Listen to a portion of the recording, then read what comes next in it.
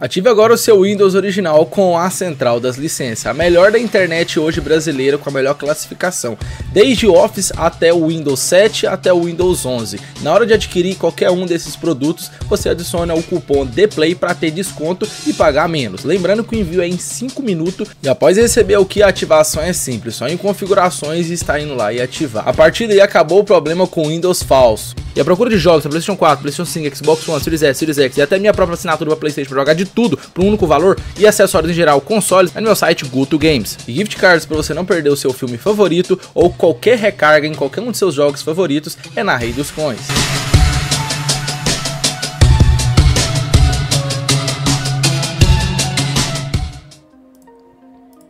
Salve galera, beleza? Good de volta com mais vídeo pra vocês. Turma, olha isso daqui que a gente vai passar hoje no vídeo, mano. Vamos passar dois jogaço novos e para sempre na faixa Play 4 e Play 5. E também novos liberados agora semi na faixa. Esses dois é para todos mesmo, os outros aqui são liberados da Plus, tá? Então a gente vai falar de tudo aqui no vídeo para vocês. Antes de começar, já vamos clicando aqui embaixo no gostei para estar tá ajudando o canal. Se inscreve se é novo e ativa todas as notificações, galera. Se no YouTube não manda os nossos para vocês, beleza? São vídeos aqui todos os dias. Meu site está aqui na descrição para quem procura jogos. Está rolando a promo de junho até o dia 25 para vocês. Mais de 140 jogos a partir de 20 conto. Tá aqui na descrição, primeiro link você acessa. Consoles, acessórios. Tem a GoToFlix que é destinada a planos de 3 até 12 meses. Inclusive o de 6 por 250 e o de 12 de 340 são poucas vagas. Eu acho que é só uma ou duas no de 12, pra vocês terem noção. E a de 6 tem umas 3, eu acho. Então, se tiver interesse, corre aqui. É o seguinte, cara, é um custo único, se você escolher a dedo sempre oficial conectado os games de Play 4 e 5 ao gosto. Você pode escolher entre antigos até os atuais, sai game entra também, mais de 400 títulos variados. Então é bastante coisa, vale muito. E os lançamentos todos, galera. Chegou a DLC do Elder Ring, a nova com o jogo já. Tem aqui o Baldur's Gate, PES 21, Prince of Persia, Stellar Blade, a sessão de Ronin, Red Dead, Spider 2, Helldivers, Alan Wake, todos os lançamentos, tudo aqui você vai ver aqui no topo, tá? É, Hogwarts Legacy, Resident Evil 4 Remake, Mirage, Elder Ring normal, FC 24, Resident Evil 4 Remake e God of War Ragnarok, tudo menos de 100, pra vocês terem noção. Gran Turismo 7 também menos de 100. Cara, Star Wars Jedi Survivor também 94, menos do que isso. Descendo aqui tem muita coisa de 70, 75, muito em conta, como Red Dead 2, Mafia, Games 3 em 1, Assassin's Creed, The Last of Us 2, muito em conta, 60 conta aí, ó. É Spider-Man 1 e o Miles também essa faixa. Muita coisa de 55, 45, 30 e 20, cara. São oito páginas com muito jogo, cara. Muito jogo mesmo. Ó, vocês vão descendo aqui, ó. Tô na 4 ainda, ainda tem mais 4, o dobro de página. Filtrando por jogos, apareceu a partir de 20 aqui, ó. Tá vendo? Mais antiguinhos, mais coisa boa. Dá uma conferida, todos os originais conectados bonitinho, certinho e tranquilo. Vamos lá, galera, começar então já passando aqui os games disponibilizados. Na verdade, vai ser disponibilizados. Uns já estão, tá? Esses aqui são novos que acabaram de ser anunciados e a gente já vai passar aqui para vocês para avisar que é informação, né? Primeiro é o jogo Stampede Race, Stampede Race Royale. É esse jogo de corrida de kart que vocês estão vendo. Ele é mais um novo game que vai vir na proposta para todos e sempre. Oficial. São mais de 60 jogadores em corridas eliminatórias. Olha só que da hora. Ele vem com uma proposta, galera, muito promissora. É, basicamente, ele é do estúdio chamado Secret Mod e vai chegar nos consoles, sendo Play 4, 5 e PC. Inclusive agora no PC ele já está disponível em Early Access, que é um acesso antecipado na Steam, caso haja interesse de testar já, e você ter um PC etc. Ele foi divulgado primeiramente na Summer Game Fest e teve a oportunidade ali de algumas pessoas testar e experimentar o título. Agora com Early Access, quem tem o PC e a Steam pode estar experimentando. E falando do jogo, galera, é, eu sou suspeito para falar primeiramente, né, cara, porque eu gosto demais de jogo de corrida. É, nessa proposta estilo Mario Kart, estilo Crash Corrida. Esse daqui eu vi uma particularidade muito grande com Crash Team Race, ele parece demais. É muito massa esse jogo, certo? Aquele jogo que você entra na corrida, pega item para acertar o oponente para ganhar vantagem, várias coisas diferenciadas. É aquele jogo frenético e divertido, né? Diretamente falando. É, ele tem o Power Ups para coletar, que oferece maneira de saquear os outros adversários. São 60 jogadores em eventos eliminatórios de 3 rodadas, com uma corrida final para determinar quem realmente é o rei das pistas ali. Com a jogabilidade bem fluida e visuais coloridos, o jogo entrega momentos divertidos e cheios de emoção. É, e é o de costume para esse jogo. É fácil de controlar o carrinho, realizar drift também é tranquilo, atacar seus oponentes é um jogo assim de boa de jogar mesmo, não é um jogo difícil, certo? Que já é dito pela própria produtora.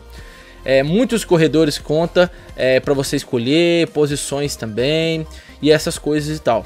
É um jogo que tem até uma lembrancinha com Fall Guys. Na verdade, aqui tá falando Fall Guys, eu não tô entendendo muito não, cara. Não, não achei muito parecido com Fall Guys não, né, cara? Mas o jogo tá aí. Guto, quando ele lança, primeiro ele é um jogo que vai vir para todos, como a gente falou, e ele está programado para sair ainda este ano, tá? Ainda não tem uma janela específica. Como ele já está em, em Early Access, né, que é um acesso antecipado, quando os jogos entram nesse acesso antecipado é porque já está bem próximo de sair, na qual a produtora já quer ver feedback e já está o jogo praticamente concluído, porque já tem uma versão antecipada para a galera jogar, é porque o jogo já está no estágio já bem elevado do seu desenvolvimento. Provavelmente esse ano, qualquer hora, ele sai. Às vezes nem final do ano, pode ser papo de um mês ainda aí. Galera, esse outro jogo aqui é um jogo muito promissor também, cara. Esse aqui vai agradar muita gente, eu imagino. Mais gente ainda. Esse aqui é um novo game também que vai ser disponibilizado na faixa já oficial pela produtora. É, e a gente tem mais novidade que é o gameplay do Homem-Aranha. Eu vou deixar esse gameplay aqui embaixo que é bem grande para vocês acompanharem. Mas de fundo tá rodando um trailerzinho mesmo de boa. Que é do jogo Marvel Rivals, certo? E segundo o diretor, que a novidade nova é agora para falar sobre isso, o diretor disse que o jogo ele é muito desafiador. Proteger a vingança vai, re... vai requerer prática dos jogadores.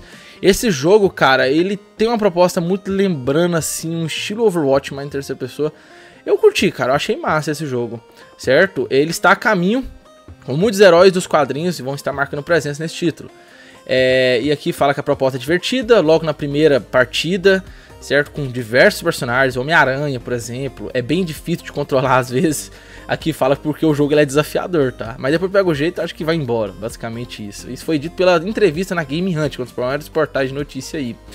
O questionamento foi levantado após verem que a interface do jogo de tiro mostra o marcador de dificuldade para cada herói o que muda bastante também. De acordo também com o Thread, né, que é o diretor do título, isso serve para os jogadores pensarem bem antes de escolher o lutador, o que vai fazer muita diferença. Cada um vai ter suas particularidades, entendeu?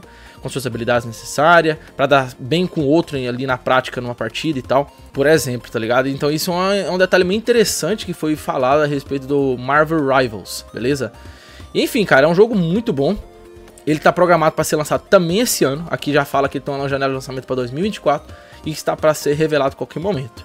Certo? Aqui ainda continua falando que para você jogar com Homem-Aranha em Marvel Rise, você vai ter que tornar um player imbatível no 6 contra 6 para liberar ele lá quando você for jogar quando o jogo sair. Certo?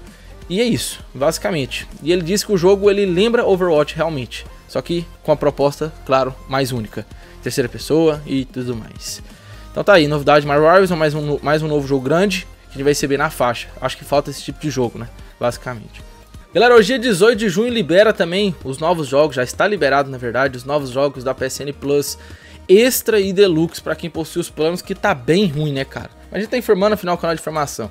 Esses novos jogos que eu achei fracos, né, tirando o primeiro que é o principal, o resto mais fracos aí, tá liberado hoje na Plus Extra e Deluxe, caso você haja interesse, a gente tá informando aqui pra vocês, né? Basicamente é o Monster Hunter Rise, né?